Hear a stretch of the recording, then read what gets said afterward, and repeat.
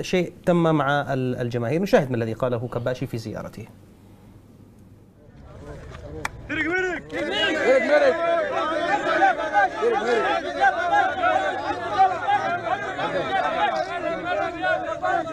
على تفهمكم ومساعدة الوالي وأجهزته في إدارة هذه الأزمة لحد ما وصلنا لهذه المرحلة وبهذه الطريقة الحضارية. وشاكرين لكم أيضا.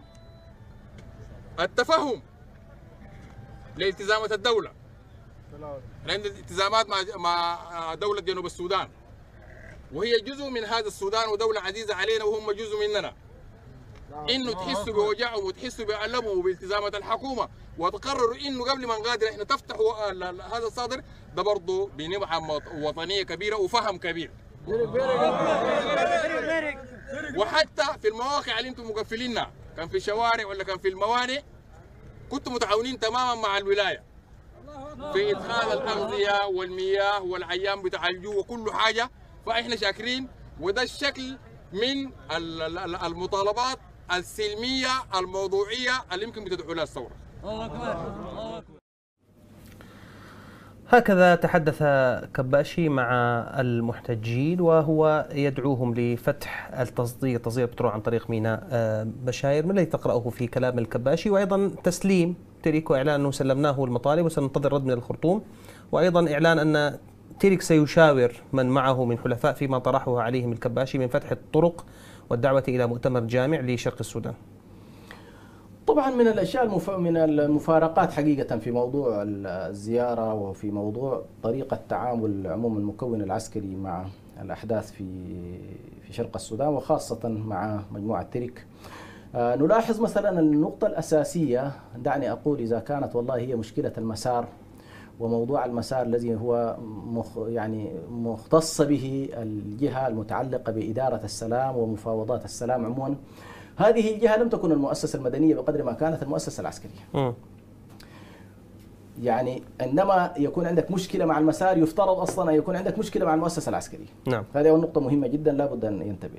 لكن لاحظ الآن خلال الفترة الماضية لاحظنا أن التصعيد مع الحكومة المدنية وليس مع الجناح العسكري، بل ربما لاحظنا نوع من التماهي ونوع من إعلان إنه والله يا أخي نحن من يحمينا هو المؤسسة العسكرية، على كل في تقديري زيارة زيارة زيارة عضو مجلس السيادة كباشي, كباشي. آه واضح فيها أنه فعلا المؤسسة العسكرية يعني كأنما ليست آه بعيدة جدا من الحراك الذي يجري في في في في منطقة السودان.